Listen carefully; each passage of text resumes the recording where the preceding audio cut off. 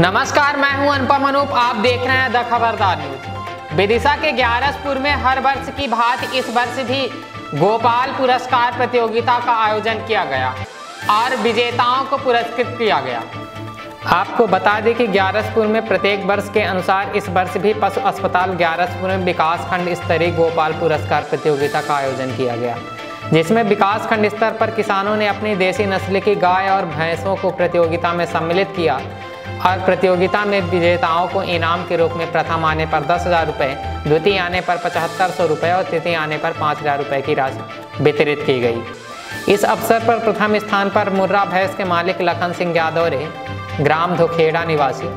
द्वितीय मुर्रा भैंस पुरस्कार महेंद्र सिंह, पिता तखत सिंह ग्राम मानपुर। गायों में प्रथम पुरस्कार विजेता लोकम सिंह।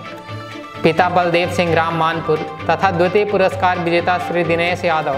पिता जगत सिंह ग्राम धुरेरा हुए। विदिशा से हमारे रिपोर्टर आशीष सहेले की रिपोर्ट देखते रहिए द खबरदार न्यूज़।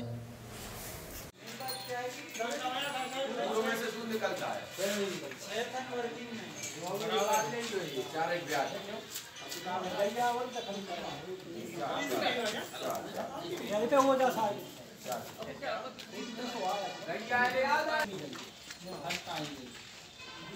मैं तो खंड खंड जाऊँगा लात ना मारे वहाँ मैं बताऊँगा। छः दशमलव छः सौ लीटर यानी कि सात लीटर छः सौ ग्राम।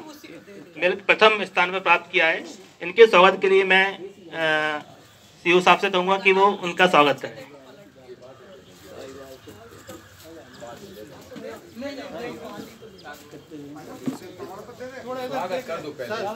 दे को भैया। दे बाप। नहीं बात सभी लोग मिलके थोड़ा। ऐसा कर लो।